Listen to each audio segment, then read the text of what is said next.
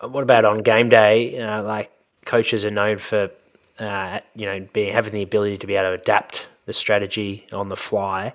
Um, do you have some sort of experiences or, or, memorable moments where you've noticed the best coaches have that ability, and, and what could be the difference between perhaps coaches that are develop, still developing their craft?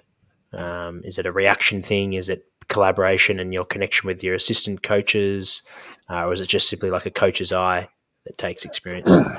Um, no, I, I, tell you what happened. Out of a worldwide pandemic, it was the best three months I've ever had in my life.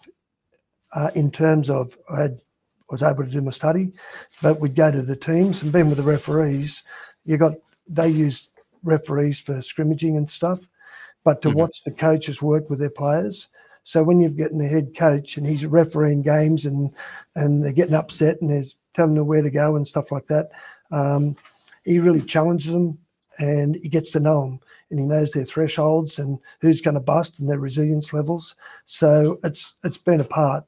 And interesting enough, we, we, we collect data on everything. We get subjective data, objective data, and he and, and, one of his quotes to me was, "Boyley, I'm not being a smart ass here. I've been coaching for X amount of years. I know when someone's not happy. I know when they're sad because I can see it on their face. I walk around and I watch them." Do you think for someone that uh, is striving towards being a head coach or perhaps a high performance manager, are there um, strategies or things that you can be doing to help prepare you for that, or is it just simply being in the role uh, to get I, that experience?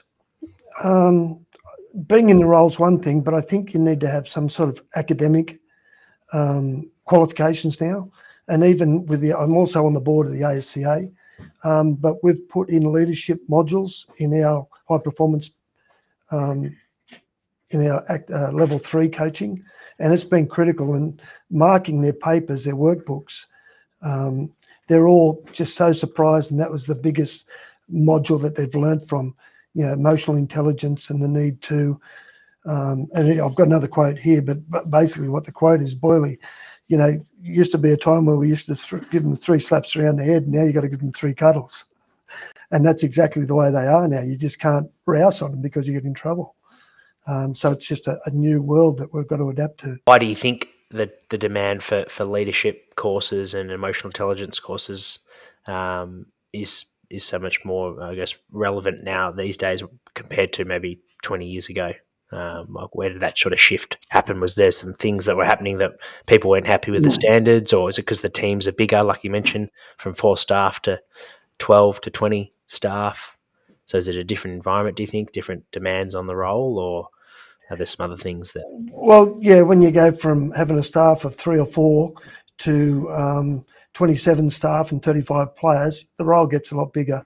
And, and, because the game gets faster, and now we've got all the sports science and technology, um, you've got more bodies to look after. And the bigger span of control means that you you know you've really you're tied for time, and you know the head coach is the first there and the last to leave. At, at, at what I'm saying, are the real deal clubs. So, mm-hmm. and societal changes has got that way and you mentioned cognitive st- studies for those um, that haven't read any papers or might not be aware of what what all that means. What what are what's the interest for yourself in looking into sort of decision making and cognitive um, decision making for, for the athletes, but but also high performance managers and head coaches.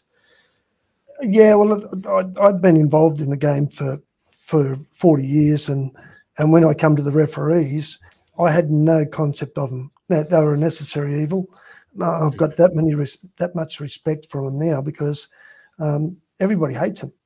You know, they, they, they, get abused and they've done about 2,000 games before we get here. And we train them hard, but they've still got to they've got to have that cognitive ability. They're making 1,300 decisions a game. Um, and they're, they're that busy there, and they've got the captain's challenge, six again tackles. Um, they've got to count their penalties. They've got to make sure that the guys they've got to control the game and make it a spectacle for the public. And that um, team first mentality, uh, what does that look like in terms of actionables? Do you think from it from the uh, sort of athlete's point of view? Well, they, they, it's it's about training when you don't want to train. It's about caring about other players in the team. It's about having a crack in the gym all the time. Um, you know, I don't feel good today. Well, ask those other 17 players if you can take it easy today. Uh, if they say yes, we'll talk about it. um, that was my response. Or you're playing against a guy on the weekend. You think he's lifting fifty percent? Um, so there's a lot of a lot of things in there that you and the reactions about team first. Don't be selfish. Um, it's so important. You just got to keep on top on top of it. But again, as coaches, um, we, have got to lead by example. It's not what we say; it's what we do.